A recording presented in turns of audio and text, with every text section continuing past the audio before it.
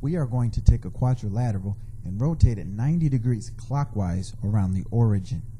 Now the origin is simply where the x and the y-axis intersect, which is located at the coordinates 0, comma 0. Now some things that we should review before we actually figure out where our quadrilateral is going to end up are the features of each of the quadrants.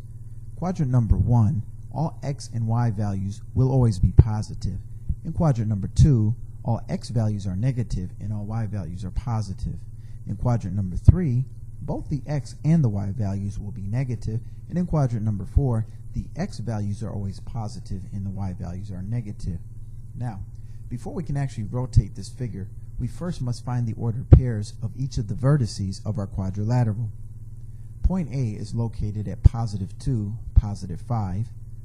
Point B is located at positive 6, positive 4. C is located at positive 6 and positive 2.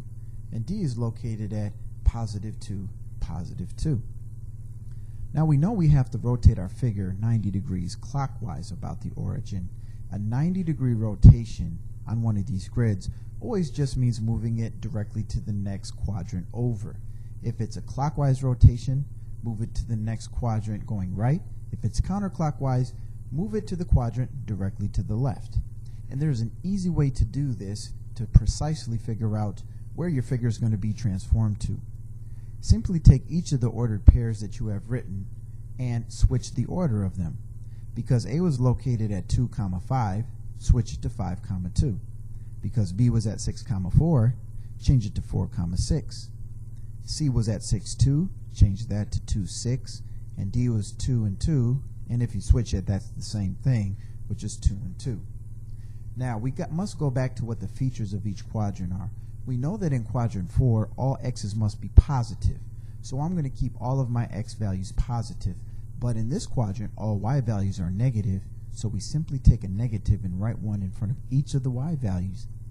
These new coordinates tell us exactly where we should plot each of our points. After we plot each of our points, just connect the dots, and we have transformed our quadrilateral 90 degrees clockwise around the origin.